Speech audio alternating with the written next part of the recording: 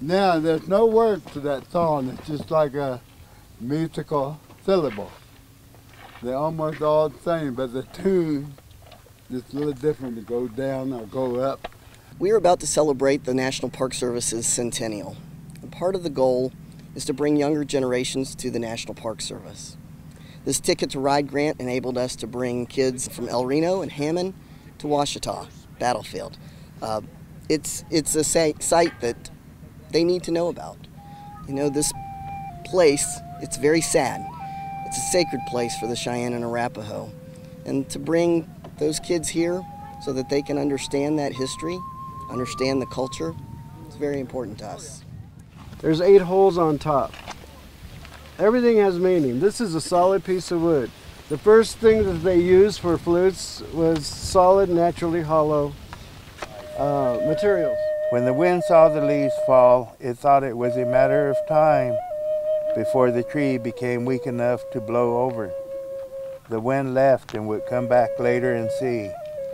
The tree shivered, and with the knowledge of the cold wind, it learned how to make itself stronger for when it became cold again. Get started, so please. Pretty cool. I'm very excited. I want to show this to my grandpa.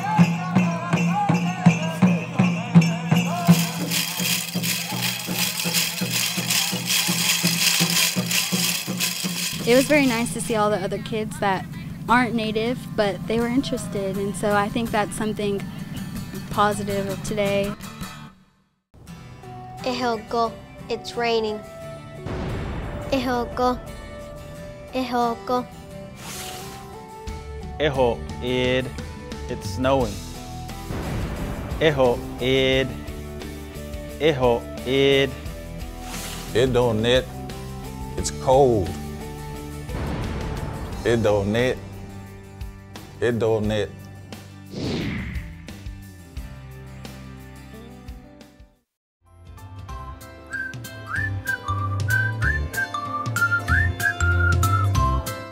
Well, this year we're doing uh, back to school bashes in the communities.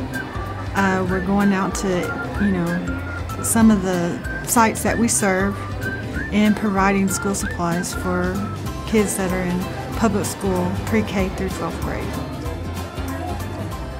We're seeing a lot more parents come out and also a lot of grandparents are coming out. More grandparents are taking care of their chil children's children. So the services are needed in these communities. Yes, this is a good time that we get to go out and meet new parents. They're new parents that are their kids maybe going to school for the first time and they're not really sure what they need to do and it kind of we kind of help them along the way and let them know about what JOM can help with and uh, provide their students with while they're attending school. But it, it's exciting to to meet the new parents and also to see our uh, continuing parents to come and get involved in our program. These pre-packaged boxes that are given out to the students, they are by grades. Um, one year we compiled all the school supply lists from all the different schools and there are a lot of schools that we serve. And we compiled a list and we're just providing the basic school supplies for these grades and that's what they're given. So they receive their box and they have a list in the front of what is all inside the box. That way it will make it easier for the parent to get what else they need to get from their school supply list. I just get a lot of parents just thanking us for all the supplies that they're receiving. I mean, they said every little bit helps. Even if it's not all the supplies that they get from the on their school supply list, they are very happy with what they're getting from us. They said every little bit helps, especially with families that have more than two kids in school. It gets costly and it's, it's really important that we get those supplies out to them.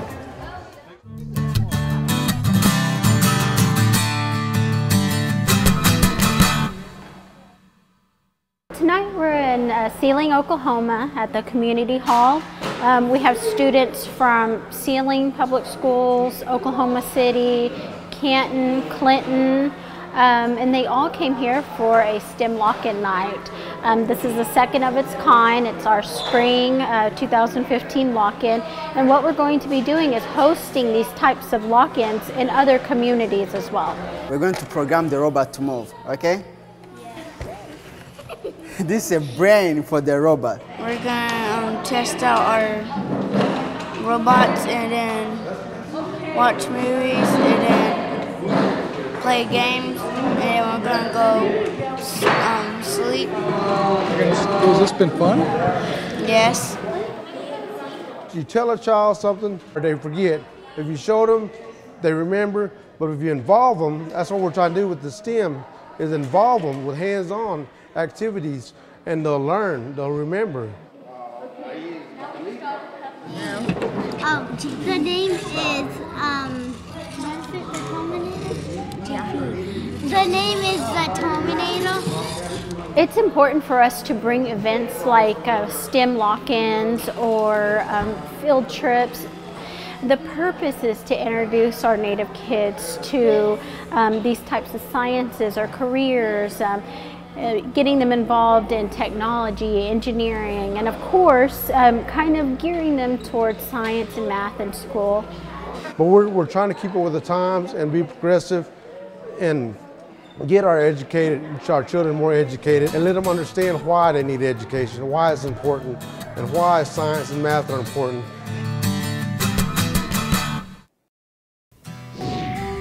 Adosahit. What is your name? Hadosahit. Hadosahit. What is your name? Everett Naas Sitna. My name is Everett. Everett Naas Sitna. Everett Naas Sitna. Ni teche. It's a good night. Ni teche. Ni teche. Let's learn some Arapaho. Jessa, Jesse, niece, niece, Nessa, Nessa, Ying, Ying, Yathan, Yathan, Nitada, Nitasak, Nitadak, Nitasak, Nasadak, Nasasak, Diadak, Diasak, Bededak, Bezedak. Okay,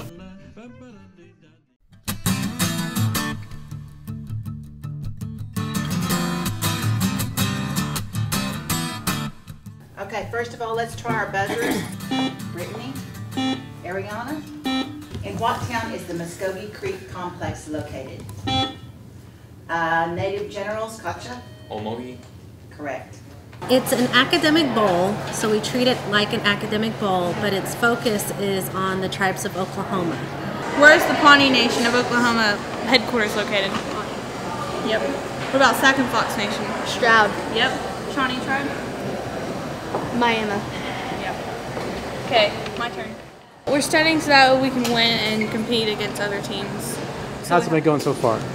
Good. I think we need you to not- have you been studying enough, you think? No, I think we need to study more. That's why you're still out here working, Yeah. huh? Okay. We have students that come from all over the state and they compete and they answer questions um, based on the history, culture, con- um, people, contemporary issues, um, all focusing on the tribes of Oklahoma. Number five, what town is Jim Thorpe's home located? Ariel Colbert White. Pennsylvania. Incorrect. How did this morning go? It went really good, but we won. But I think we could have done better. Okay, tell me where the Cheyenne and Arapaho are located. In the north? Concho, man, I told you that. I told you that. okay, tell me, uh, tell me where the uh, Fort Sill Apache are located. Apache. Now we're getting somewhere, right? We have 29 teams, 20 in the high school division, 9 in the middle school division. There's probably about 150 students here, plus their sponsors. 150 native kids in one place. Yeah, yeah. What do you call that? Um, awesome. No. Chaos? yeah, and chaos, but no, it's been really great. Let's learn some Cheyenne. Nas. Nos. Nish. Nish. Na.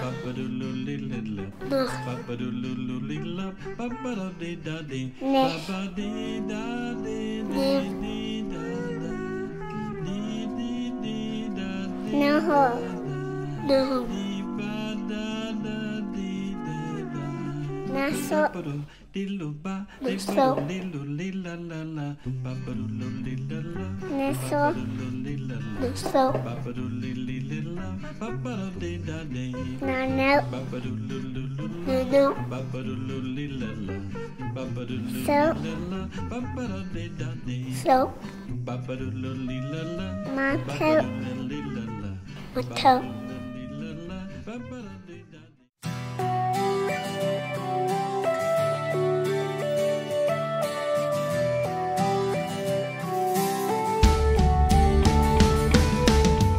What we are doing is we're creating a curriculum for the high school, uh, juniors and senior level, level ones and level twos, so it'll be two years of a language program.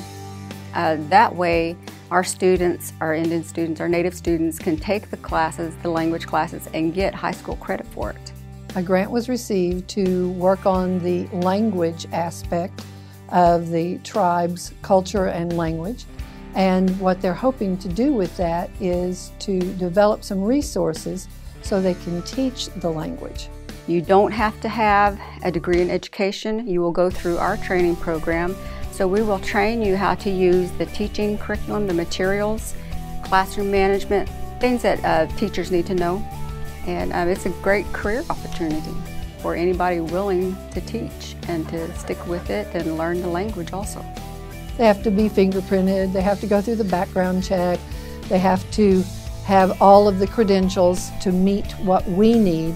And we also are trying to make sure that they will be supported in the classroom because we know that many times, since there is not a teacher preparation program, they may not have had the college education to be in that classroom. So we are putting together a program that will train them to be effective in the classroom. Well, the, they'll attend so many hours a week, um, maybe 20 hours a week, and we would give them the teacher's guides, something to follow that is used under the World Language Certification process. We're following everything under Oklahoma standards. We've looked at uh, possibly having language speakers that already have college degrees, are already teachers, so that's one level you're going to look at. The other one is uh, the novice language speaker who doesn't have a degree but has the opportunity to teach in the public school, but with a mentoring program of a certified teacher to help with that. Essentially, we guide them to uh, teach these languages, whichever one they, they prefer. What these funds will do is to help develop those teachers and offer them the professional development that they will need to become great classroom teachers and to support them in the classroom. Like I said, it is a career opportunity. Uh, you will be paid. There is stipends. You'll be paid during your training. You'll be paid at work. It's very important for the community to get involved uh, because without them, we don't have the support. Um, you know, the government, the tribal agencies, they can support us as much as they can, but it essentially it's up to the people. It's something that you really need to have a passion for, and it is our job to help you become more comfortable and more familiar with the words, the written language. There'll be plenty of that. You know, there's a lot of kids today that um, they don't know their traditions, they don't know their culture, and it's through no fault of their own, they just weren't raised that way. If they had this opportunity, they could learn about their people. Because, I mean, this language, teaching it, we have culture and history behind it. We can't teach language without the history and culture. So they, they could learn all sorts of things, um, you know, where they came from. I think to learn this in high school, you could learn a lot more about yourself before you finish school instead of going on to college and finding out, oh, this is, you know, this is where I came from. And you'd learn that earlier. We're also looking at having professional development uh, programs to help them understand in, in those two levels of, uh, of teaching uh, methodology and, uh, and classroom management and plus teaching styles. You will learn some words, you will hear some words, listen to some words. A little bit louder. A little bit louder. Hatchet Nahabethan. Okay. yeah, so that's how you say, I will see you again. And then we're going to do get up and do some action with it. Nat Sitnal. Say your name first. We can like Nat Yeah, yeah, okay. Say your name first.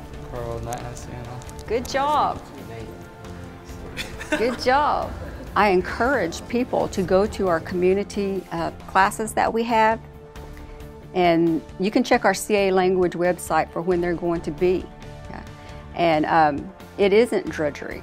I enjoy the language, I enjoy new words, and I have fun in our classes. The people in our classes enjoy hearing from others. The curriculum is being designed to make it fun, especially for the high school students, high school level and they can go home and then share with their parents, their siblings, and then we have our community meetings in support so their parents can come also and learn, and also the younger ones. There is a generation of language speakers that were, were taught in the, in the boarding school era that it wasn't good to speak your language. It was uh, not something that you can share, and they almost succeeded in that into the fact that we have a group of, of people that are at a certain age that don't speak the language because their parents didn't share it with them because it was it was not good to and it was you know he had to say it but it was beat out of them and that's that was one way to defeat the the uh, Native American was to uh, take that away from them. And so we have a generation of people that didn't get that passed on to them because their parents felt like it was not good Language is thought. Language is the way you view the world put into words. So, if you really want to know a people and the way they view that world, their perspective of the world, then you have to know the language because that's how they communicate what it is that they see and do on a daily basis.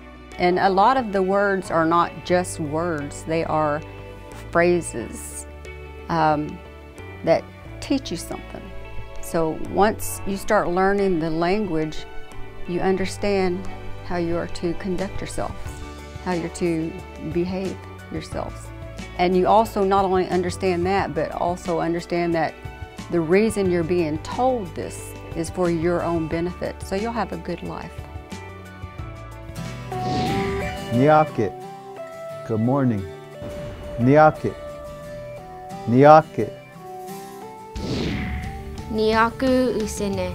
It's a good afternoon. Niaku usene. Niaku usene. Hatchet na habethan. I will see you again. Hatchet na habethan. Hatchet na habethan. Ledonchive, what is your name? Ledonchive, Ledonchive. Nakas, Nahishivik. My name is Little Bear. Nakas, Nahishivik. Nakas, Nahishivik. Stop Posevums, I'll see you again. Stop Posevums, stop Posevums.